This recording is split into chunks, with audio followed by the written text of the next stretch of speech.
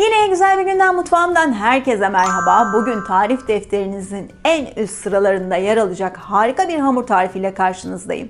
Eğer çok iyi, güzel tutan bir hamur tarifiniz varsa şimdi vereceğim gibi onunla çeşitli çeşitli harika tarifler, poğaçalar yapmak elinizde. Şimdi vereceğim tarif pamuk gibi yumuşacık böyle kabar kabar kabaran bir hamur ve ben onunla iki çeşit poğaça yapacağım. Birini sosisli böyle farklı bir şekilde yapacağım. Diğerini de sucuklu yapacağım. Bunu ister kahvaltıya ister çaya yapın. Keyif sizin. Hadi yapımına başlayalım mı? İki yumurtanın bir tanesinin sarısını daha sonra üzerine sürmek için ayırıyorum. Geri kalanını hamurun içine katıyorum. Bir çay bardağı sıvı yağ ilave ediyorum. Ben ayçiçek yağı kullanıyorum. Bir çay bardağı da süt ama oda sıcaklığında olmalı. Tüm malzemeler oda sıcaklığında olmalı. 1 çay bardağı yoğurt, 2 tatlı kaşığı şeker, 1 tatlı kaşığı tuz.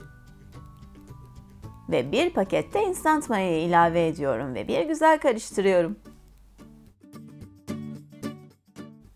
4 su bardağı un kullanacağım ama her zaman olduğu gibi 3,5 su bardağı unu koyuyorum. Yarım bardağı da yavaş yavaş ilave ediyorum. Çünkü kontrollü bir şekilde hazırlamak lazım hamuru. Ele yapışmayan yumuşacık bir hamur olacak ve yoğurmaya başlıyoruz.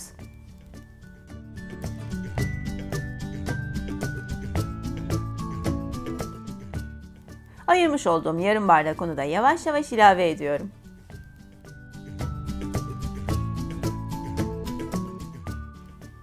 Kasemi hafifçe unluyorum. Hamurumu şimdi mayalanmaya bırakacağım. İşte hamur da böyle gördüğünüz gibi bakın ne kadar yumuşacık, ne kadar esnek ama ele yapışmıyor. Şimdi koyup ağzını da kapatıp 45 dakika 1 saat kadar mayalanmaya bırakıyorum.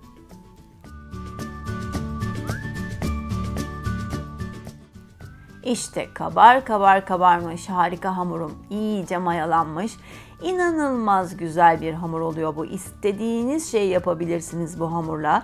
Gerçekten herkesin tarifinde böyle tarif defterinde olması gereken bir hamur. Zaten güzel bir hamur tarifiniz varsa istediğiniz poğaçaları envai çeşit yapabilirsiniz.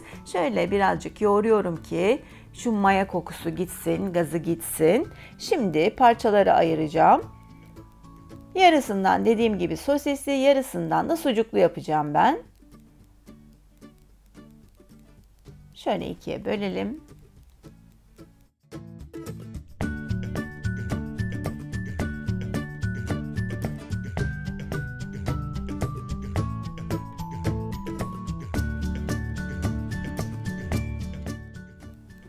Yarımını da dörde böleceğim.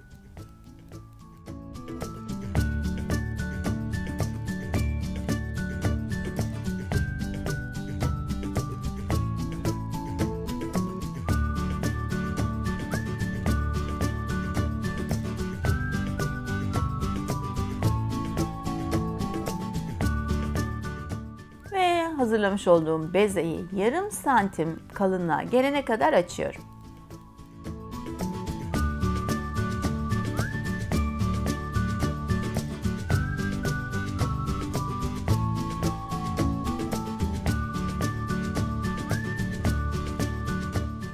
Yarım santim kalınlığında açtığım hamuru sosislerin kalınlığına, boyutuna göre üçgenlere bölüyorum ben kokteyl sosis kullanacağım için bayağı küçük üçgenler hazırlıyorum.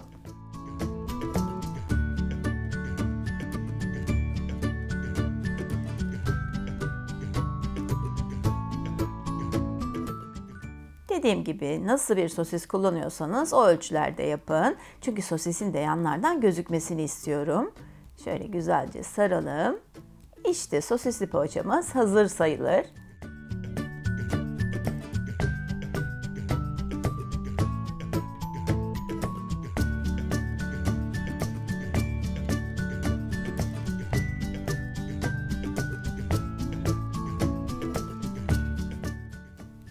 Pişirme kağıdı serdiğim tepsime yerleştiriyorum ve üzerini örtüp 20 dakika mayalanmaya bırakıyorum. Tepsi mayası yapıyoruz. Ve diğer hamurdan da şöyle mandalina büyüklüğünde bezeler ayırıyorum. Onları da sucuklu yapacağız. Şöyle Elimizde yuvarlıyoruz ve hemen bezeler hazır gördüğünüz gibi.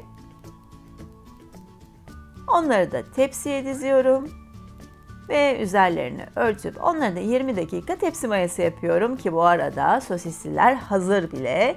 Şimdi üzerlerine ayırmış olduğum yumurta sarısına biraz süt ilave ediyorum. Altın sarısı kızarsınlar diye şöyle sosislilerin üzerine sürelim.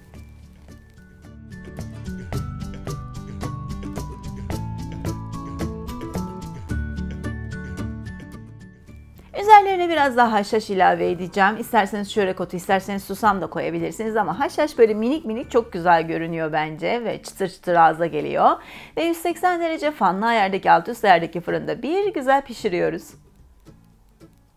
Sıra geldi sucuklulara. Onun da tepsi mayası bitti. Ve sucukları kalın kalın dilimledim. Kalın kalın dilimledim ki böyle iyice batsınlar ve içinde dolu dolu kalsınlar diye. Şöyle bastırıyorum. Gördüğünüz gibi hemen hamur zaten şekil alıyor. O kadar güzel bir hamur ki. işte gördüğünüz gibi bakar mısınız? Hop pof diye içine alıyor sucukları. Ve tabii yine üzerine yumurta sarısı sürüyoruz.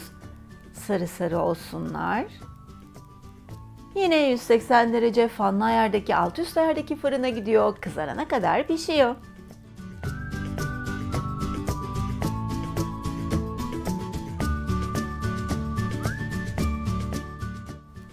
Sosisliler fırından çıktı. Bakar mısınız? Pofur pofur sosisler de içinden gözüküyor. Yumuşaklığını size anlatamam ama gösterebilirim. Bakar mısınız ne kadar yumuşak. Pofur pofur bir poğaça oldu. Şöyle ortadan koparalım. Of sosisli poğaçam harika görünüyor. Ya sucuklular bakar mısınız o da nar gibi kızardı. O da yumuşacık gerçekten. Bakar mısınız şu güzelliğe sucuklar içinde hapsolmuş pamuk gibi yumuşacık sucuklu poğaça dediğim gibi istediğiniz malzemeye, istediğiniz şekilde harika poğaçalar hazırlayabileceksiniz. İşte dediğim gibi bu hamur tarifi tarif defterinizin ilk sıralarında yer alacak değil mi? Umarım beğenmişsinizdir. Bakalım siz bu hamurla ne çeşit poğaçalar yapacaksınız? Lütfen benimle paylaşmayı sakın unutmayın.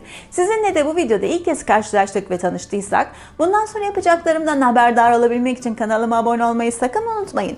Abone olurken abone ol butonun yanında bir tane küçük zil butonu var. İşte onu da tıklarsanız eğer ben yeni bir video paylaştığımda hemen size haber gelecek. Bunu da hatırlatmış olayım. Yine güzel değişik tariflerde buluşmak üzere. Şimdilik hoşçakalın.